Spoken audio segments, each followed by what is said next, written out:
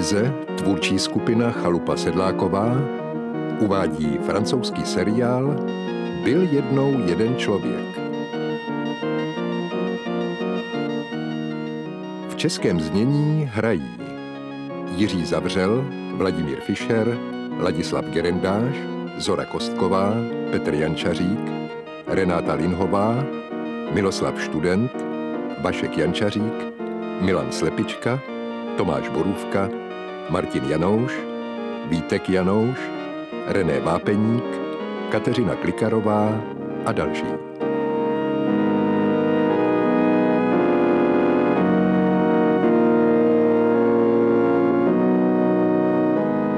Bláznivá léta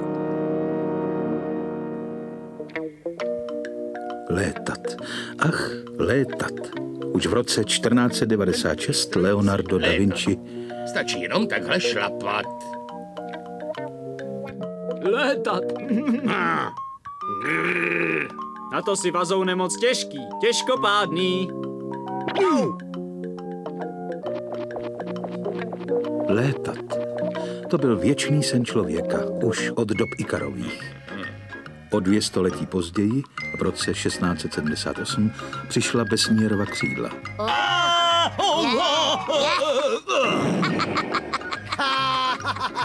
1742 Brekeviova křídla. 1806 Degenova ornitoptéra. 1854 Breantova ornitoptéra. 1868 Stringfellowův parní trojplošník. Podívejme se. To už byl velký krok kupředu. Pozor, pozor! Vzdušná paroloď Tomase Moje z roku 1875. Tatanův jednoplošník z roku 1879. Kolik bylo třeba bláznivých snů, bujné fantazie, kolik marných nadějí, než se sen stal křehkou skutečností. Prvním člověkem, který doopravdy letěl, byl v roce 1891 Otto Lilienthal. Rok 1897 a Clement Ader.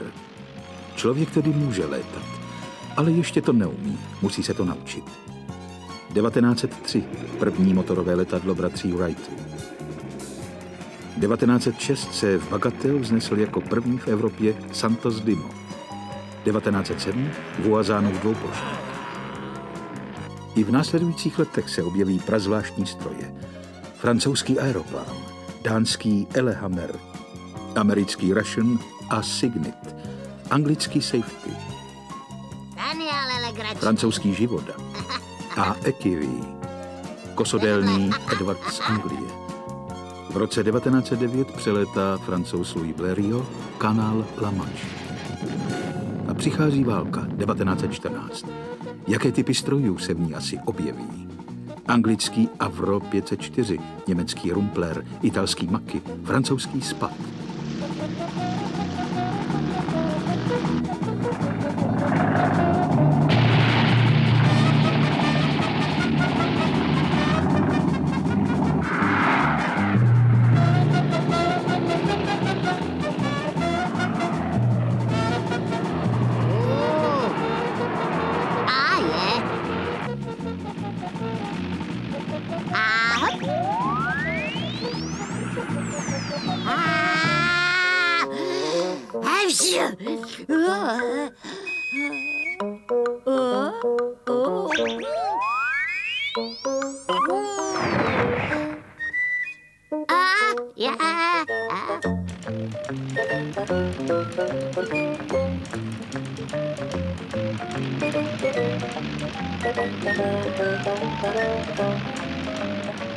Pokus se dostat nad něj hlavou dolů.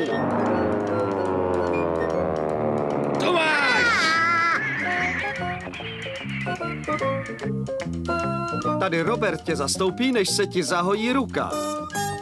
Mnoho štěstí, přátelé. Tamhle!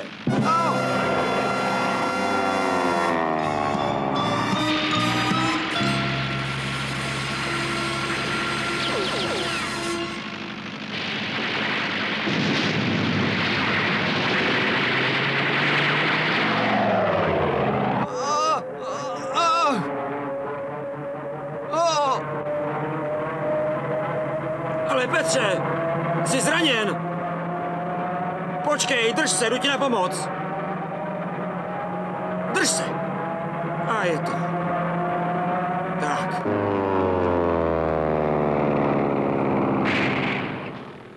Podívejte! Snad se mu podaří přistát. Výborně! Výborně!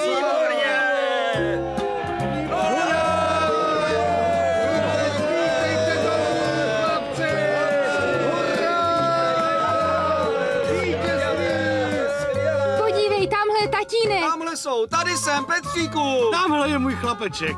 A jsme tady. Dobrý den. Nechtěla bys mít trochu pomoct? Už běžím, mami. Hned. Hm? Hm. Jak se ti líbím?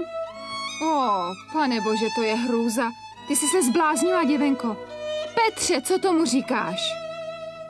Máma má pravdu, tohle oblečení je nevhodné. Proč? Poslyšte, rodičové, buďte už konečně trochu moderní. Poslechni se, Ruško. Ahoj rodičové, snad nejdu pozdě k večeři. Ty jsi legrační. V těch krátkých vlasech vypadáš jako kluk.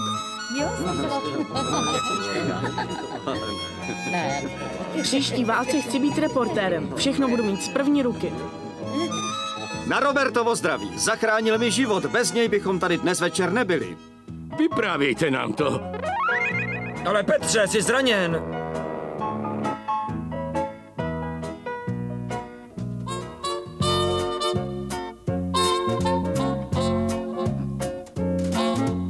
Slečno. Smím prosit? Mm-mm. Uh, Neobtěžujte slečnu. Věnujete mi tento tanec? Mm-mm. Dovolte, abych se představil. Zastávám velmi významné postavení. Jsem generálním ředitelem jednoho velkého podniku a čeká vás se mnou přímo pohádkový život.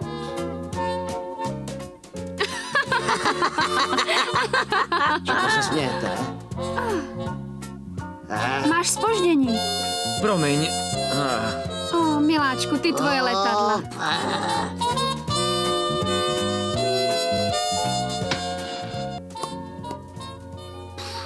A zde, pane, za válku Právě byla podepsána Versajská mírová smlouva. Pro jedny potupná a pro druhé přehnaná. Vyvolala touhu po odplatě a mnoho vnitropolitických sporů v dalších letech. Tady v dopravě nepotřebujeme ani žádné hrdiny, ani střeštěnce. Odepíšeme vám. Přesto vám děkuji.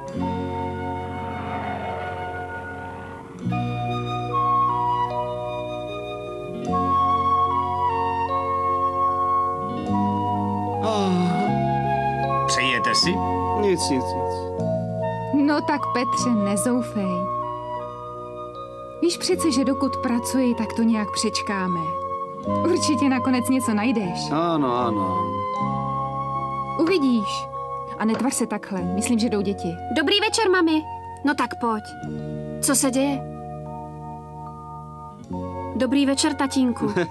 Něco neklape? Ale myslím, že přijmu to nabízené místo mechanika. A ty, Roberte? Já budu létat na leteckých přehlídkách, je to dobře placené. Dobrý večer všem. Dobrý večer, mami. Ahoj, běž si umít ruce. Ano, mami. Počkat, mám v kapse dopis pro tátu. Tady. Ah, Na, A já mám něco pro tebe, tu máš. Na? o, oh, co to je? Nádhera. Líbí se ti? Je opravdický? Je pro budoucího reportéra. tak oni mě přece jen přijali. Budu létat. Tak vidíš. –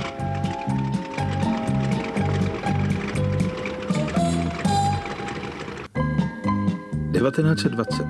Americký senát odmítl, aby se Spojené státy staly členem Společnosti národů. Amerika se izoluje od Evropy. V Mnichově se objevují první hnědé nacistické košile. V Itálii černé košile Mussoliniho porážejí socialistické myšlenky. V Sovětském svazu se k moci propracovává Stalin.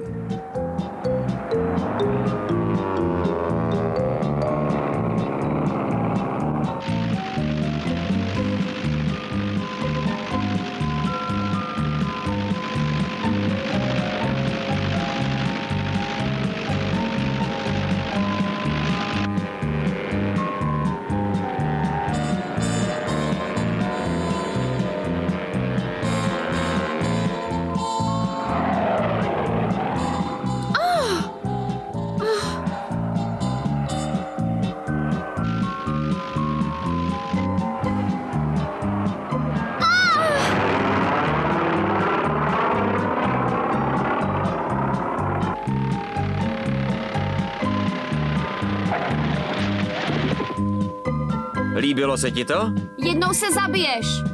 A hlavně leďte opatrně, víte, tenhle stroj je, je to? velmi silný. To je Adrienne Bolandová. Ona pilotuje letadla? Létá dobře. Právě uzavřela s Kodronem sázku. Jestli udělá looping, dostane od něj nový stroj. To se jí ale nemůže povést, pro ženu je to příliš obtížné.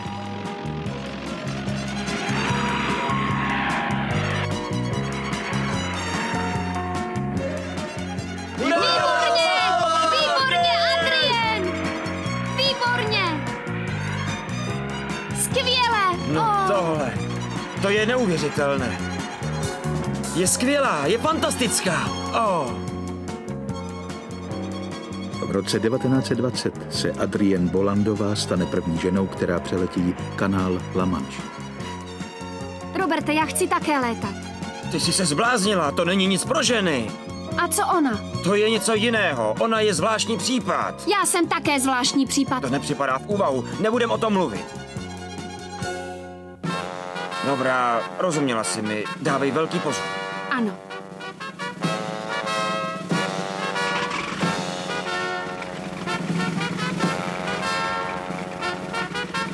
Buď opatrná. V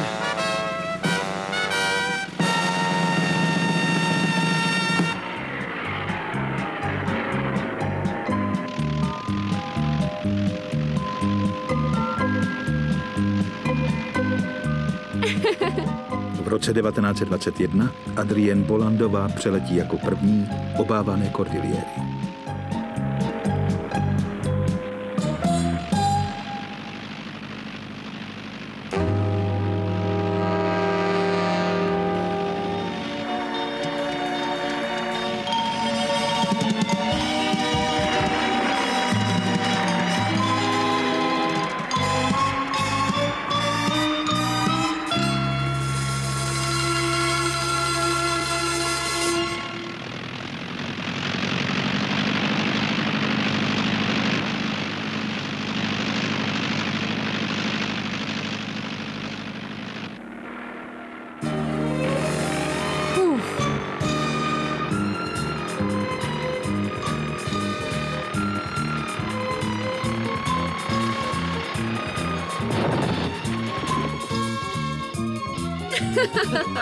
Pozor vy dva.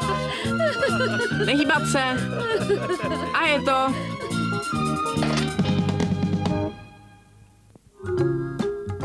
Biograf se už stal zcela běžnou zábavou. V témže roce, to je v roce 1921, se konal v Jersey City zápas století. Dempsey versus Carpentier.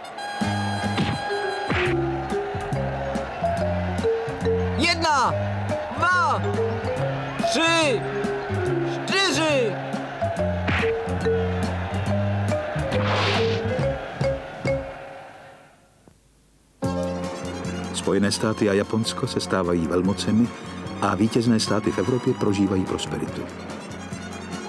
V poražených zemích je odpovědí na prohranou válku nástup fašismu. V roce 1922 pochodují černé košile na Řím a král Viktor Emanuel je nucen jmenovat Benita Mussoliniho ministerským předsedou.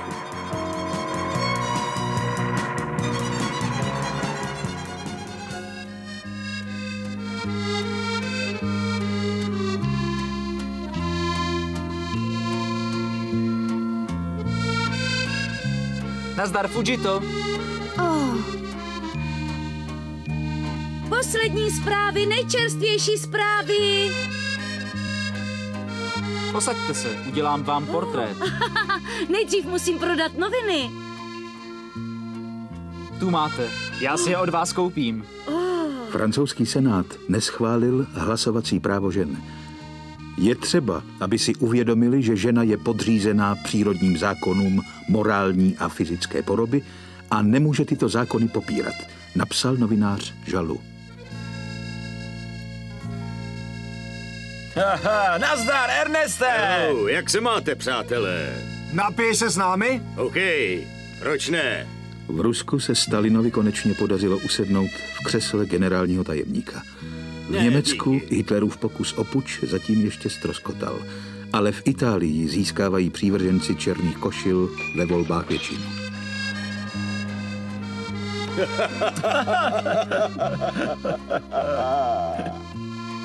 Slečno, nedáte si s námi skleničku? Oh, když mě zvete... Samozřejmě, tak půvabnou dívku, co si dáte? No konečně si tady, Roberte. Miláčku.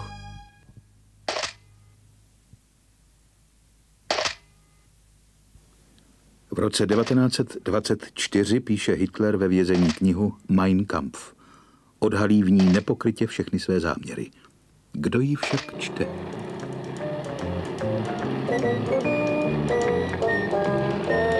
Co kdybychom šli dnes večer společně na večeři? Petro, kuk! Oh, konečně si tady, To miláčku. víš, že jo. Oh. Co to máš na obličeji? To je poslední novinka. Krém pro krásu vyživuje pleť. Aha. Pojď. A to je můj poslední úlovek, elektrický sporák. Tomu se říká pokrok.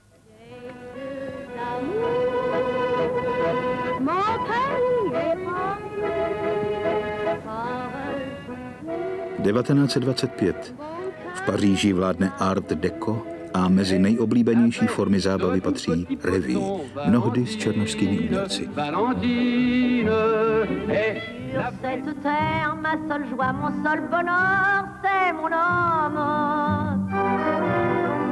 J'ai donné tout ce que j'ai, mon amour et tout mon cœur à mon homme.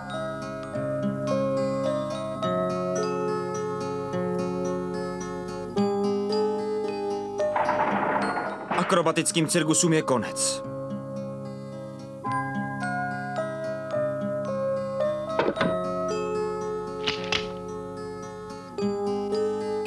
1926. V kinech se hraje Faust od Murnaua. V Paříži klesla hodnota franku neuvěřitelně nízko. Přinesl jsem vám ukázat nějaké fotografie z mé reportáže. V Chicagu vládne Al Capone. Hmm. Zajímavé. A americké ženy omdlevají při zprávě o úmrtí napomádovaného krasavce Rodolfa Valentína. Výborně.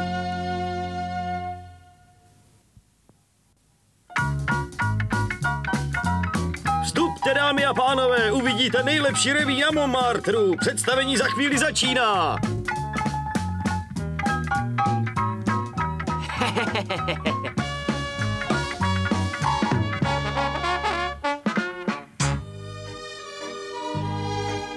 Motor! Hojnost poválečných let skončila. Letecké přehlídky už nikoho nezajímají.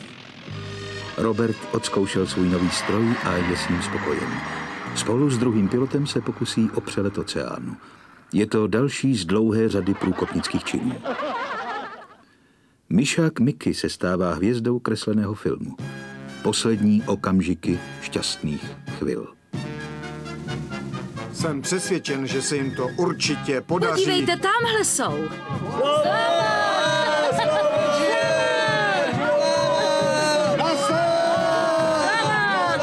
Hej! Petruško! Roberte. A, mm. No tak, hrdinové, nehýbat se. Bravo! Jsme svědky památné události. Ti ale musí mít odvahu. To tedy ano.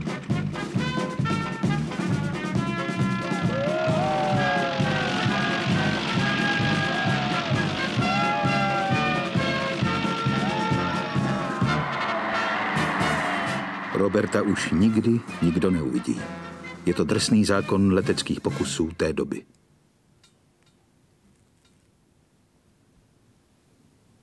No tak, dceruško, buď statečná. Viděla jsi ten přístroj? To jsem dostala od tvého otce. Rádio. 21. května 1927 se veřejnost dozvídá senzační zprávu. Lindberg přeletěl Atlantik, podařilo se, poslední vydání, ohromný úspěch Lindberga. Podívejte, za tuhle mě noviny zaplatili 100 franků. Musíme to oslavit. To je ohromné. Pojď s námi, zvu vás do kina. Výborně. Skvělý nápad. Je to první zvukový film, jazzový zpěvák. Prý je senzační. You make them blue, sunny boy. 1927. Poprava Saka Avancetyho vyvolává vlnu pobouření v Evropě. O 50 let později budou rehabilitováni. V roce 1928 Maris Bastíjeová překoná světový rekord v délce letu bez přistání a překoná ještě mnoho dalších. V roce 1928 je podepsán Briankelogův pakt, ke kterému se postupně hlásí 60 zemí. Tato mezinárodní smlouva odmítá sílu jako prostředek řešení konfliktů. Že by svět konečně zmoudřel. Podívej, to je elektrická žehlička. Jdu otevřít. Dobrý den, to jsem já. A maestro. Počkejte, přinesl jsem ještě tohle. Tak, a teď? Eh, teď vám předvedu svůj poslední vynález. Eh, vysavač. A co to vysává? Prach? Je na elektřinu. Eh, Předvedu vám ho. Au, au. Ale ale dej pokoj. Zastav se. No tak, no, no řekl jsem, pojď sem. No, jasný. Tak zastavíš se konečně, darebáku. Okamžitě se zastav, jedeš, jedeš, zůstaň. Ne, ne, ne, ke mně. O, ke mně. Eh, Tak pustíš mě, ne, konečně. Nikdy bych si nemyslel, že je tak nenasytný. Eh, No, no, no, konečně, už toho bylo dost. Náš stálý dopisovatel v New Yorku nám právě oznámil alarmující zprávu z New Yorkské burzy. Její zhroucení A, znamená pro americký lid začátek vážné hospodářské krize. Krach na New Yorkské burze v roce 1929 znamená také konec mírovým nadějím, protože krize se ze Spojených států rozšíří do celého světa. Armáda nezaměstnaných brzy stoupne na 40 milionů. Je konec poválečnému rozkvětu. 1932. Petřík vyrostl a jako reportér se stává svědkem mnoha významných událostí své doby. Tak brzy nashledanou.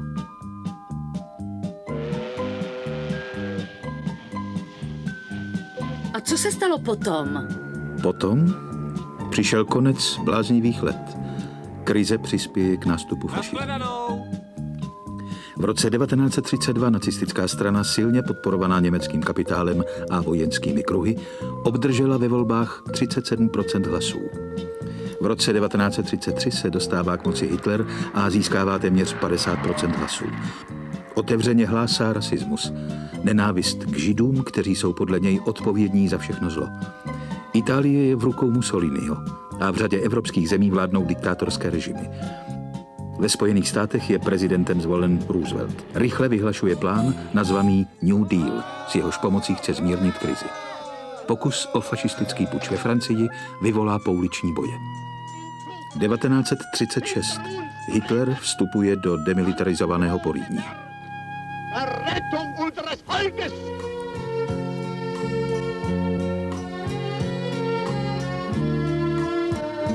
A tady je ale krásně.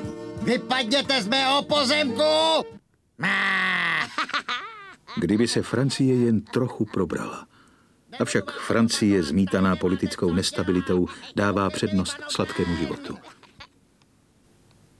Itálie se dobyvačně vrhá na etiopské císařství a neschopnost společnosti národů se projeví v plném světle. Ve Španělsku vojenský puč přerostl v občanskou válku.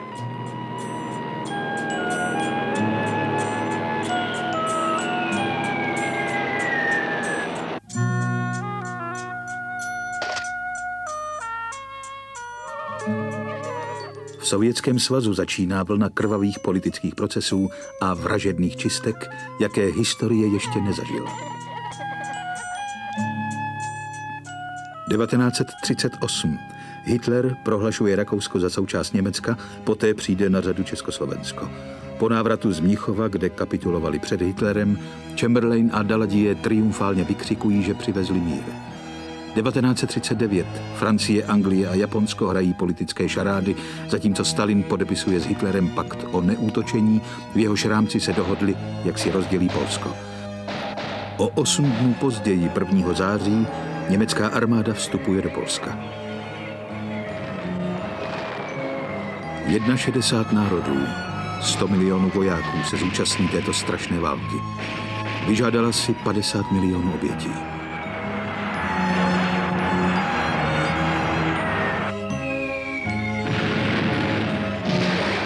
Deset milionů lidí, mužů, žen i dětí, bylo odvezeno do koncentračních táborů. Proti veškerému lidskému rozumu. Ve jménu nenávisti. V závěru války bombardér Enola Gay letí směrem na Hirošimu, aby uspíšil vítězství. Jaké je to vítězství?